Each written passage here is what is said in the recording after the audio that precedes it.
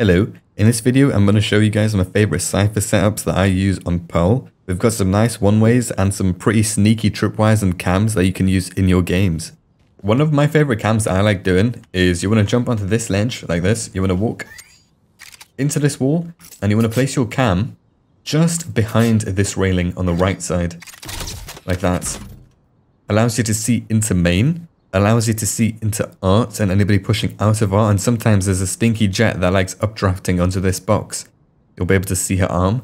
You can see anybody flanking you so if there's a stinky omen tiptoeing around in your spawn you can ping him with a cam.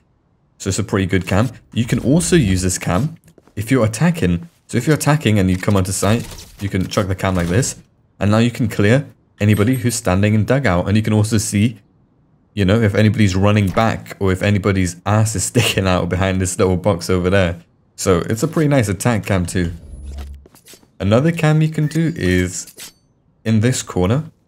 You want to just jump through like that. And this allows you to see into art. It's also a little bit hidden from art because of this lamp that's blocking you ever so slightly. But it allows you to see their legs going across, allows you to see them allows you to see people pushing onto site from main. And all of the cams I'm going to show you can also be used as a wallbang setup. So if you're playing in dugout, all of the cams I'm going to show you can really benefit you if you're playing in there. Because when you ping people, you can activate cages too. And then you can just spray them down. Another cam you can do when you manage to jump onto this box, which is like the hardest thing in the world, jumping onto this box. But once you're on this box, you want to aim your cam here in this in this anywhere in this area. I like aiming in the center of this area. So we aim a little bit low when the camera becomes blue and then we just jump through. The reason I like aiming it in the center, you can aim it towards the right or the left, but the center allows you to clearly see this area of the map. And if any enemies are hiding in there, you can ping them. And if you're playing in dugout, it'll be a lot easier for you to wallbang them. Allows you to also see art, sight. You can activate a one-way cage I'll show you guys in a little bit. You can also see anybody flanking, so it's a nice cam. If you move this cam to the left a little bit, maybe you want something like that, it doesn't see this area as well, but it allows you to see further into art. Another cam you can do is when you're standing on this box, I'm actually not sure what this is called, but we'll call it a box, or little, this little mini shed, and you want to aim at this umbrella and you want to jump through like this, this allows you to see into main a little bit early. You can see who's taking the orb. You can see how many people are pushing towards the orb, which is nice. Gives you a little bit of early information. Also allows you to clearly see on site. You can activate another one-way cage or the same one-way cage, but I'll show you how to do that later. A variation of this camp can be on the wall like so. It gives you a slightly better view of sight because you're not blocked by this ledge. It's nice if you don't get the early information, but it's hidden and people are less likely to shoot it because they're not going to turn around behind them, look up and then break the cam. So this is a good, good cam. Another cam you can do is while standing on this box, you can put your cam there on this railing. And this is also pretty nice. If you aim this cam towards the right, you'll see into A main a little bit better. But I like leaving it in the center because it's more hidden. And it also allows you to play off of your dugout setup if you're playing in dugout. So it's a pretty nice cam like that. See, this is the early information you would get if you bring the cam over to the right. A hidden cam you can do on a site is you just want to stand in this general area and you want to aim behind these railings at this arch. The cam should face down like it's doing right now. Anywhere in this area. So when the cam's facing down, you can chuck the cam. Pretty, pretty nice hidden behind the railings. You can see into main. You can see people pushing back backside. So it's it's it's a good hidden cam. You can obviously vary where you're putting this cam. So you could put the cam a little bit further back behind the railings if you want. Something like this. It sees less into main, but it's a little bit more hidden. And When the barrier goes down, if you want really early information, you can just chunk your cam like this. Especially on pistol rounds, you can see all five, and boom. You might be thinking, yeah, you'll be able to hear people, but some teams, what they like doing, they're like cutting noise, and then they move up slowly, slowly, slowly, and then they hard hit a site. So whilst they're moving slowly and they're not making any noise, this cam will be your best friend. another early information cam that I use sometimes. So when this barrier goes down, I like walking up. And I like jumping and putting my cam there. And boom. Because this will give you some nice information. A lot of the time, people on the enemy's te enemy team will be so focused, holding this angle, you know, making sure no nobody's pushing out here. They'll be like watching this. And then your cam will be able to see anybody hanging around. When the barrier goes down, walk into this area. It can be anywhere in this area as long as you can clearly see this arch. And then you want to just jump through like this. And now this one lets you see into a main, which is nice. But not only that, it also allows you to see clearly into mid. So anybody pushing art, anybody who's hugging the wall down there, maybe he's shifting across, you'll be able to see his little head. So this is a pretty nice cam to do that. You can use this cam to ping. Maybe if you've got Sova on your team, ping with the cam whilst taking the whilst taking the dart out, you can ult them. Your typical trips, I've seen people just place tripwires like this. This is not good. I mean, it's it's alright, but I think in higher elo, people will just, you know, you can just jump over that because this place is so high up, they can just, boom. Or a Skydog or Fade Cat might hit this and break, or Wingman, when he's running across the plant, is going to break this. What you could do, you, if you do like doing trips like this, you could place it, when the barrier goes down, you could place it there, because people less expect the tripwire to be placed there. So let's say they don't use their util, or let's say they just, it's a pistol round, they just want to rush onto the site. This is a nice tripwire, because they they would expect the tripwire to be there, so maybe they pre-fire this, and uh-oh, they got hit a little bit earlier, so this is this is quite nice. Right, if you're being a little bit sneaky, what you could do is you see this stone slab. If you aim at the bottom left of it, and you can adjust the height, so the higher you aim, the the longer the tripwire, like that. And then the lower you aim, the shorter the tripwire. So we try and have a nice long tripwire like this. This is nice. It cuts off people walking onto site. It cuts off anybody who wants to push this part of the map, which is nice. If you aim at the left of this light, you can get a nice tripwire that goes into... Oh, Cypher problems. But you get a nice tripwire that goes across like this. It's good at surprising people. My favorite tripwire that I leave on a site most of the time is this a long boy right here. So you want to aim at this corner. If you aim too high, the tripwire won't work because it just it just won't have anything to latch onto. But you aim towards the bottom of this wall at the corner. And you can adjust the height. So the higher you go up to a point, And then you can just chuck the tripwire. And it covers everything. Literally everything. No one's planting. No one's pushing art. No one's pushing out of art to plant here. So this is nice. It's like, it's just a big, it's just denying space. So it's a pretty good tripwire. I suggest using this and you can reuse this tripwire a lot in your games too, because when this is broken, and if people jump over this, you're going to hear that. And then you can use your cams to see what they're doing. And if you're playing dugout, you can wallbang them. So this is a nice tripwire. Sometimes, if the enemy team really just like storming onto the sites, maybe they have a gecko who just yeah. insta-plants there and then their jet dashes yeah. in this area. I like having this tripwire because this one allows you to wallbang everything from as soon as the barrier goes down all the way to site. So anybody in this general area is not having a nice time. Well, I don't see many people do this in general. This is like a tip for any agent. So let's say you have a smoke there, right? You hear loads of people rushing. Here. You, you just ping the general area because they won't expect you and then you just ooh, through the wall. So when they actually do come out onto site, this works better with Cypher because you can hear when they're in your cage.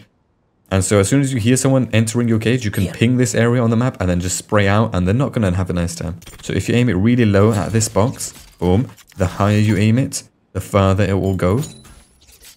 Like this. It's good at surprising people because a lot of the time people just, you know, they either run onto this side or maybe they'll get here and then they decide to push out. So this is nice. There's this stone slab on site. If you aim at this bottom right corner of it, you can get a pretty nice tripwire that covers a lot of site too. So anybody who wants to push here is going to get pinged by the tripwire. Anybody that wants to push back backside will also get pinged by this tripwire. So this is a good good tripwire. It can be a variation to this default tripwire that people put over here. So this is nice. Like your typical anti-plant tripwire could be something like this. This is nice. But you can vary this, so you can put it at the floor if you want. So we, we can bring it out a little bit, so we aim like that. Quite nice. That's also quite nice, isn't it? You can aim, if you aim in this corner, the tripwire will get placed further in. Like that. So if they have an enemy Yoru that likes TPing here. over here quite often, or TP straight into this tripwire, and this tripwire can also be used to prevent people from planting and pushing back sight. So this is good, so you might want to learn this one. If you aim your tripwire at the left side of this lamp, this little light, I mean, you get a pretty decent tripwire that prevents people from pushing from art to plant into yeah. any of the default spots, which is nice. Prevents people from pushing main to art and backside. A variation of this tripwire can be if you aim right there of this vending machine, and this is pretty nice, they can crouch underneath it, but a lot of the time people won't be paying attention to where this tripwire is. They'll be so focused on planting or so focused on taking space that you're guaranteed to hit people with this tripwire. But you see this curved corner of this vending machine. If you aim your tripwire inside it, you get a nice anti-plant tripwire. So if someone is running across, uh-oh. And sometimes it can even prevent Gecko's wingman from getting hit by the tripwires. Because you know, as Cypher mains, we know any piece of util that hits a tripwire is so annoying. I hit my mouse. but, you know, if a Gecko's uh, little wingman guy is running around like, uh, uh, uh, making all his gobbly noises, and then he goes to plan. This tripwire, you know, it's it's going to be nice, especially if he's using it from here. So that's, you know, it's it's worth learning. You don't have to use it for Gecko Wingman. You can use it to surprise your enemies. You can even do the opposite way. So something like this prevents people from pushing art. The only downside is if someone's actually like here, then they can get across. But a lot of the time you can pair this with a cage up there. Boom. And you can play here. Someone hits this tripwire, you can push. You can push onto sight if he's planting. Boom, boom, boom. That's nice.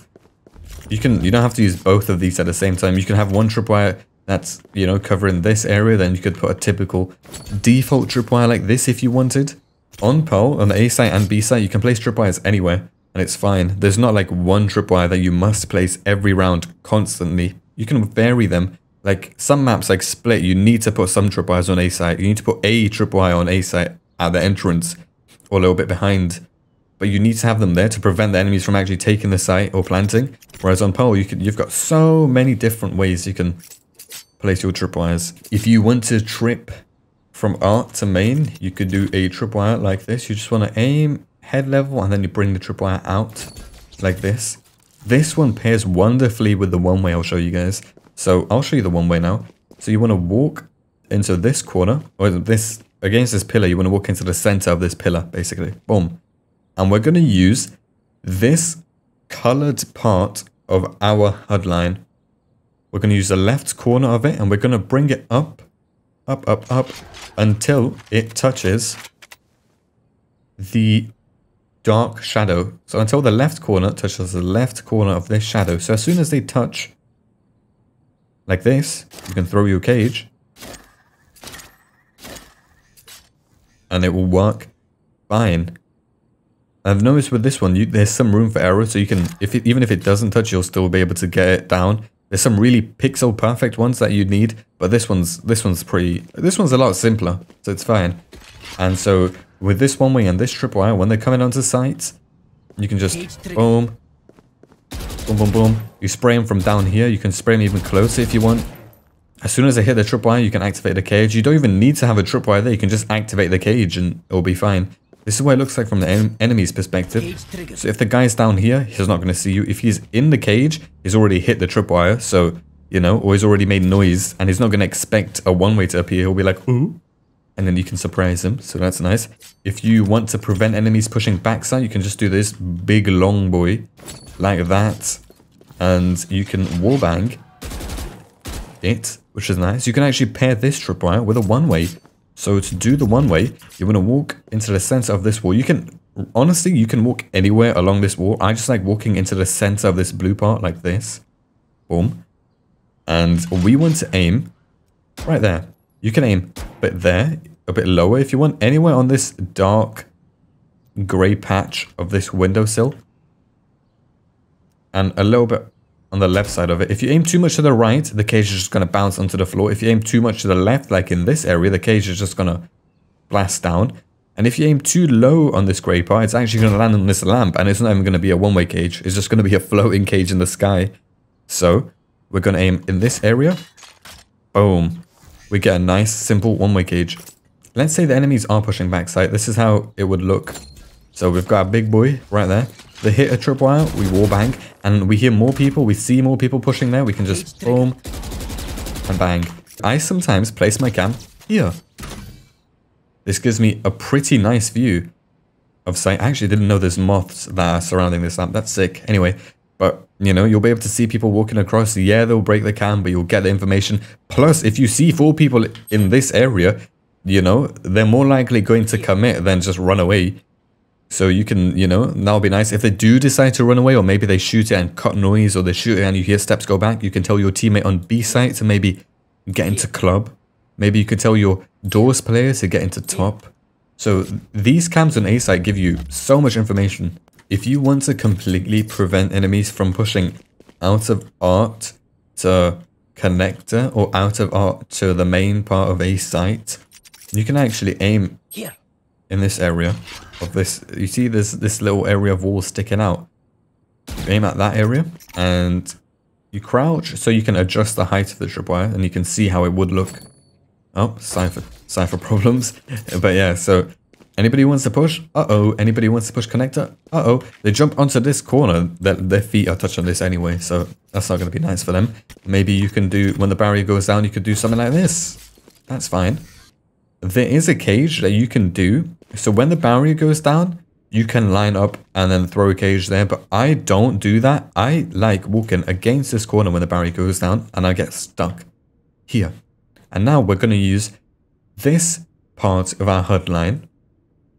We're going to bring it up and we're going to make it touch anywhere in this area. So it can you can aim at the, you see this darker box, this big box, you can aim at the bottom left corner of that, or you can aim at the bottom left corner of this smaller box. This lineup isn't specific. So we're going to bring that up. We're going to bring that right corner and we make it touch. We're going to throw our cage. You can bring it up if you want and it will be fine. You can bring it even quite far down and the cages will still land. So uh, this is this is like the basic lineup. This is how it's going to look on your screen when you do the lineup. And this is how it will look from your perspective. So let's say, you know, you hear enemies mid, or let's say you've set up this cam. You know, you can use this cam to see what's going on. Maybe you see someone hovering this area. Boom. They are not going to have a nice time. They are not. They're going to be sad. And this is what it looks like from the enemy's perspective. Yeah, they ain't seeing you. They are not seeing you. And if he's inside here already, he has to actually crouch to see you. And even then, it's a little bit difficult. Especially if you're playing a little bit further back and you can just spray him down. You get so many free kills and the guys are going to be complaining. Play a little bit further back at the start of the round, especially if they have a KO, because a lot of the time KOs like knifing here, because they know not many people would be playing right here. So if they knife this, GG's. but um, if they do knife that, you can actually, if you're playing a dugout, you can run back a little bit, and if you have a cage here, you can activate it. You know, when when the knife expires, you can run back, and you'll be nice and safe. And if the knife here. goes here, you can just break it and then you can activate a cage set up here and run to the back of sight here. So you're pretty safe from KO knives as long as you expect it and as long as you you know you're you're being observant, you'll be fine. So the most basic of basic setups would look something like this. So you have a cam here. Obviously the cam can be placed here, here, here, down there, up there, up there even. So, you know, I'll, I'll just for simplicity, simplicity purposes and I'll explain it to you. So typical tripwire. You can have a tripwire here if you want, but let's leave it here. Just even more simple. You can have a cage here, and then you can set up a one-way cage, or you can have a cage down there. Usually I like just leaving one and then saving the other one in case I want to push this part of sight. So it's going to look something like this, let's say, and you hear people coming across, you see someone, You activate the cage, you can ping them with your cam. If the jet dashes, jets usually like dashing here or towards back sights. So the tripwire is going to hit them. Boo, boo, boo, boo. And then maybe their sage has gone to plant. You can ping on the map or you can use your cam. Someone's hiding in this corner. They hit this tripwire first. Then is there's another guy hiding here. Boom. Anybody want to plant? They cannot. And you'll be nice and safe. The only downside is if you actually sit here and spray for too long, people will actually start spraying you back. Let's say you want to play backside. Maybe the enemy KO keeps suppressing this area. I think this area is called church. Let's say KO keeps suppressing this area. You can play down here. You can even play down here, which is nice. So if you're playing backside, your typical setup could look something like this. This is like the most basic of basics. So obviously do vary your tripwires, but I'm just showing what would work. And then you can have a tripwire setup like this. Or if you're feeling a little bit more exotic, you could do something like this. The reason this tripwire can be better sometimes than this tripwire is because if, let's say you're playing on this, in this area, right? And someone hits this tripwire, you're guaranteed to get the kill. But if, if the person gets pinged on the tripwire down here, and you're playing down here, you've got to run all the way across, and by that time the tripwire is broken, or maybe they've taken more space. So this one could work, and you can have a cage maybe set up like this. So when they first come onto site, boom, you can spray. You can even spray into them and get maybe more kills. The second cage you could either put here, anywhere here really, so kind of block people pushing and allow you to walk into the cage. Or what I like doing is putting a cage up on top of this. And then when they hit the cage, when they hit that tripwire, boom, I can ping and I can even walk out. And whilst he's planting, I can teabag him, give him, give him a little kiss. And obviously you're going to want to hurry. You get the kill and then you just go back into the cage and back backside. But you know, that could work. I don't think it's necessary to put trips all the time in mid. The only reason I'm saying this is because I've got some cams that will let you see mid, all of this, and also allows you to see B site. So you don't need the tripwire and you can save your tripwire for the actual site. But if you are forced to use a tripwire, then the one I've shown right there is fine. The only downside is people can actually jump over it.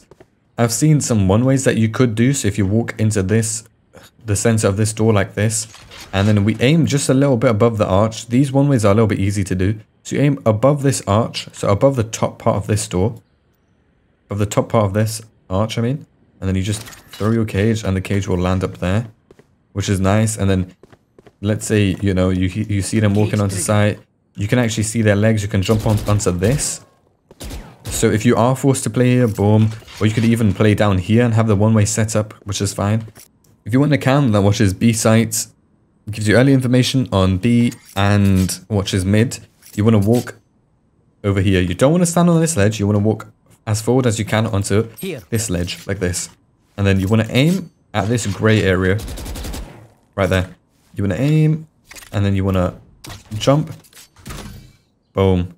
You can see into B, so you can see anybody hovering. You can see all five of them walking across, which is nice. But ooh, you can also see this. You can also see someone's head peeking from backside if they've actually taken the site. You can see them pushing out of mid. So this is a pretty nice cam that actually lets you see a lot of everything. So I would suggest learning this one. A variation of this one could be obviously standing in the same area. You kind of want the cam to end up on this ledge. So you aim a little bit low.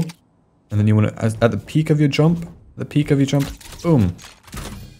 And now you get insane early information on B site, which is nice. And you can also watch Link. And you can also bring your cam down. And you can also see back side. So this could be like a retake cam too if you want. You know? Maybe you've been smoked off. You can just stand there and then try and line up with it and you'll get some information. So this is a nice cam you could do maybe you maybe the enemies just keep rushing mid link. And you can actually put your cam on this little house down there like this.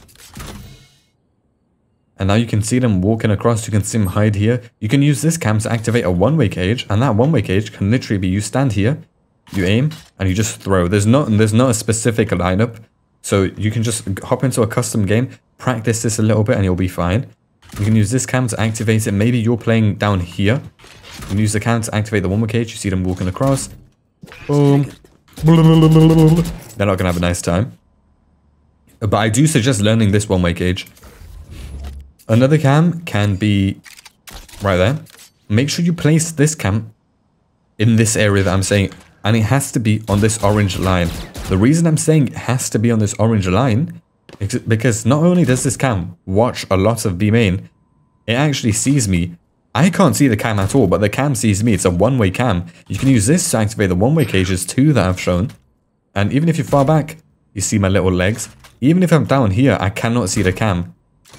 So this is a pretty nice cam. The ca I can only see the cam once I'm actually on site, but by that time you've got one-way activated and you'll spray me down. And pretending I'm the enemy, obviously you'll spray me down, I'll be dead. Another cam you can do on B site, you can stand anywhere on this ledge on heaven. And I like aiming at the fourth tile, so so this one. But you can aim anywhere. But make sure the cam is facing straight ahead or a little bit down and to the right. So something like this will be fine because it lets you see into B main and people walking out of mid link. So this is is good, gives you good vision. Some people, I've seen people make like common mistakes by leaving the cam facing too high up, like this. With this cam, you're just seeing the roof. Yes, sometimes the roof is more useful than your teammates, but you don't want to see the roof, okay? And this cam like kind of locks it off and it's so high you can't see. So don't do the cam so it's facing really high up in the sky. Make sure it's facing either straight or a little bit down and facing this area. That's a nice cam you could do. Another cam you could do is something like this. Yo, simple, gives you vision. You can use this to activate a one-way cage here. And you can get early information, maybe on a pistol round. You can use this cam. You can see all five of them going across. That's nice. Now, tripwires for B site. You want to stand on this. You want to stand on this ramp. You do not want to line up and aim head height here because then the enemies over here will just jump over. So you want to stand as high as you can and then, then aim head height to prevent enemies from actually crouching underneath it. Like so. So if anybody wants to push out of here, they actually have to break this now instead of jump over. And if they want to break it on this side, they actually have to peek out and, you know, that's going to hit their shoulder and they're not going to have a nice time. You could have tripwires. You can you can literally aim your tripwire anywhere along here and you get a pretty nice tripwire. A lot of the time, the further you do them, the more you're going to surprise the enemy team. Especially if you're playing here. down here. It'll surprise them so much. But then the only downside is they can actually hear the tripwire being placed, so they'll be more careful. So I like placing it in this this general area, you know, when the barrier goes down. Just there, nice and simple. They can't actually, you know, jump or crouch under or over it, so this is a nice tripwire you could use. And with this one, you can leave a cage there. I wouldn't because you've got to be so precise with these Cypher cages because they're so tiny that people can actually see everything on site. Even if you try your best to do it, there's going to be a little gap. Or even if you do do it, do do But if you do manage to cover everything, it's going to take so long. You're going to waste so much time. So you would just play backside and you have a cage set up here and you just shoot out the cage with a phantom. Not a vandal because they'll see the bullets coming out. And so they get hit, boom, boom, boom. And even if they get pinged a little bit to this side of the tripwire, you can actually shoot through this. And you'll be able to kill them. That's nice. Uh, another tripwire you could do is if you aim in this corner, you get a nice one that goes across. These are the typical default ones on B sites. I think what makes B site really shine is the fact that the cameras are so good and it allows you to cover so much of the map. Sometimes I like doing like a head level tripwire. The only reason is people, people, you know, they'll shoot this, they'll maybe shoot across this, but they won't expect a tripwire to be head level. And then when they actually walk onto site, ooh, ooh, ooh, you know, it's they, they're not going to have a nice time. So head level tripwires can be nice. Uh, another tripwire you could do, maybe you want to prevent people from planting in this corner you could do a tripwire that actually comes diagonally across. Like that. That's nice. If you want to prevent people from planting here and maybe pushing site this way, you could put a tripwire on this box like this. Prevents people from planting. With this tripwire, you kind of want to play either here or you want to play here and maybe have a cage set up there. Boom. And then, you know, you can, you've got room to rotate into here. You've got room to just run away. You can push out a little bit, so it's fine. This tripwire is nice. But if you want to prevent people from planting here, you could have a tripwire that goes across like this. This is fine. It also prevents people from pushing back sides. If you want to be sneaky with it, and what I like doing, is actually having the tripwire going across like that. So we put it in this corner. It will go all the way across, prevents them from planting, prevents them from pushing backside anywhere. And with this tripwire, you can actually have more value if you play heaven, or if you play here, or if you play here, because you don't need to actually wallbang through this, and people... A lot of the time, if you put tripwires like here or here, people can just run here and hide for a little bit. So this tripwire is nice like that. If you want to play heaven, maybe you want to do like a heaven setup, you can do a tripwire. Maybe you could you could do a tripwire like this then. Boom. And the next tripwire you can do, you can do either something like this, which is nice. It just really cuts off any planting spots. And you can, obviously you can be in heaven. You can chuck one of your cages in this corner. The next one you can chuck down there. And then you don't have to put a cage there. You can, you don't have to, because the only reason we're putting a cage there is we're actually going to jump to it. A lot of the time the enemies will smoke this off, which is good for you because you do, sometimes you don't even need that cage, but we like leaving it there. So let's say, you know, the enemy smoked you off. Someone hits your tripwire, you can activate a cage, walk into this, boom, boom, boom.